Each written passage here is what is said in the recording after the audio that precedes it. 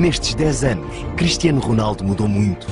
Mudou de país, mudou de clube, mudou de casa, mudou de imagem, mudou de ideias. Mas não mudou de banco. Banco Espírito Santo.